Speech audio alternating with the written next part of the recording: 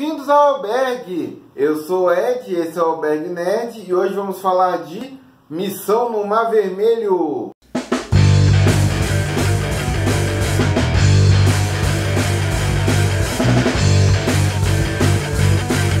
Albergue Nerd!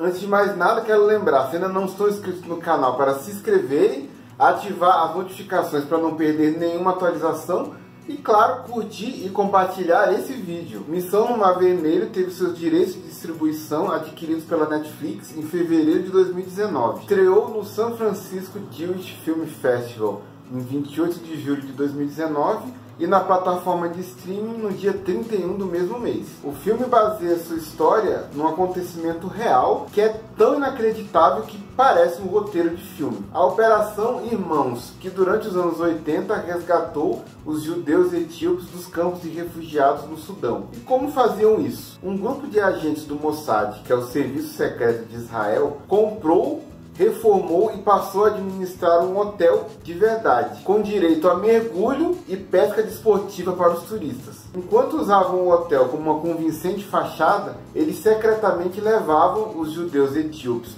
do Sudão para Israel. E o filme adapta essa história. Chris Evans, nosso eterno Capitão América, é Ari, o líder dessa operação que, junto com um pequeno grupo de agentes, divide o seu tempo entre administrar um resort e efetuar o resgate dos refugiados etíopes. De cara quero comentar o que para mim é o pior defeito do filme, que é o complexo do Salvador Branco. Para quem não sabe, esse é um recurso narrativo onde um personagem branco resgata personagens não brancos de uma situação adversa. Um exemplo recente que temos é Daenerys Targaryen em Game of Thrones, uma personagem branca que durante várias temporadas ficava em Essos resgatando os escravos, todos eles não brancos. Avatar de James Cameron também é um excelente exemplo desse tipo de recurso. Jake Sully é um personagem branco se transforma num navio. E só assim aquele povo consegue ser salvo. Em Missão no Mar Vermelho, esse papel cai na pele de Chris Evans, que se torna então o nobre agente branco que vai salvar os negros na África. Sim, na vida real teve um agente do Mossad branco que participou dessa missão, a liderou e tudo mais. Mas o filme não precisava utilizar esse recurso narrativo por um único motivo. Cabed, personagem de Michael K. Williams. Ele era o sujeito local que encontrava e trazia os refugiados. Era um dos que mais arriscavam, porque ele estava em campo. E um dos melhores diálogos do filme é dele. Em dado momento, Ari comenta que a missão tinha sido cancelada. E esse Kabed responde que para Ari aquilo era uma missão, mas para o Kabed era a vida dele, era a família e o povo dele. Então, para mim, Kabed e Ari tinham que ter a mesma importância na trama. O próprio pôster do filme sugere isso. Mais espaço na trama para o Kabed resolveria um pouco essa questão do Salvador Branco e acho que deixaria o filme mais interessante dramaticamente. Mas, como eu falei, apesar do Cabed estar do lado do Chris Evans no pôster, no filme ele tem bem menos participação do que merecia. Dá até a impressão que ele é um ser mágico que faz brotar pessoas para serem salvas. Deveriam ter mostrado pelo menos como era esse resgate, como era essa localização das vítimas, mas infelizmente não rolou. Outro grande problema do filme para mim é na equipe de agentes. O personagem do Chris Evans, ele tem motivações claras e convincentes de por que ele está nessa missão. Além disso, mesmo que de leve, mostra as implicações dessa escolha na vida pessoal dele. Mas isso não se aplica aos demais membros da equipe. Eles são recrutados e parece que estão ali porque sim, não exploram direito as motivações de estar na missão ou mesmo alguma coisa da vida pregressa deles, o que acabou deixando esses personagens um tanto rasos. A personagem da Hayley Bennett, a Rachel, ela tem um pouco de destaque em atitudes. A introdução dela é muito legal no avião e ela tem dois salvamentos muito importantes.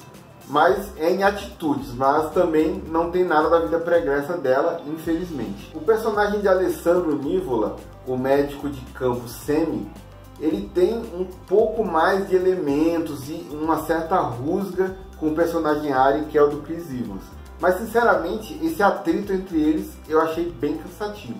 Eles poderiam ter reduzido tranquilamente essas brigas constantes entre eles pela metade e usar esse tempo para desenvolver mais o Cabed ou quem sabe a Rachel ou outro membro da equipe. Fora esses dois problemas que para mim são os mais gritantes, eu acho que o filme fluiu bem, é muito dinâmico e eu nem senti o tempo passar. O Coronel Abdel Ahmed, vivido pelo Chris Shaw, que é um personagem excelente. Ele traz perigo e tensão, do momento que surge até sua última cena do filme não tem como ficar indiferente a esse personagem. Ele vai causar medo, raiva, diversos outros sentimentos. É um excelente trabalho de composição de personagem. E a história em si, um grupo de agentes administrando um hotel como uma fachada para salvar diversas pessoas refugiadas, é o grande destaque. Acompanhar algo tão inusitado já é muito bom e dá um tempero maior saber que é um acontecimento real.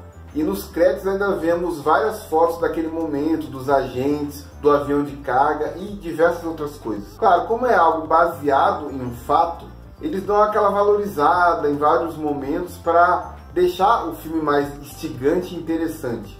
Acredito que a cena do avião de carga é o maior exemplo disso. Missão no Mar Vermelho, um filme que tem os seus problemas e utiliza um recurso narrativo até bem mal visto, que é a questão do Salvador Branco, mas por outro lado consegue prender a atenção e traz uma história que talvez de outra maneira não fosse conhecida do grande público. E vale ver o empenho que foi feito para salvar aquelas pessoas e a mensagem final que o, o filme deixa na questão da irmandade e de ajudarmos uns aos outros, não deixarmos ninguém para trás, acaba sendo bem bonita e confesso que deu aquela emocionada e aquela lagriminha escorreu. Tá fácil de assistir, tá na Netflix aí na plataforma, então vale aí conhecer mais uma grande história que o nosso planeta nos trouxe. Curtam o vídeo, compartilhem, se inscrevam no canal se ainda não são inscritos. Não se esqueça das redes sociais, Alberg72, Instagram, Twitter e Facebook. Sigam e curtam a gente lá. Nos vemos no próximo vídeo e que a força esteja com vocês.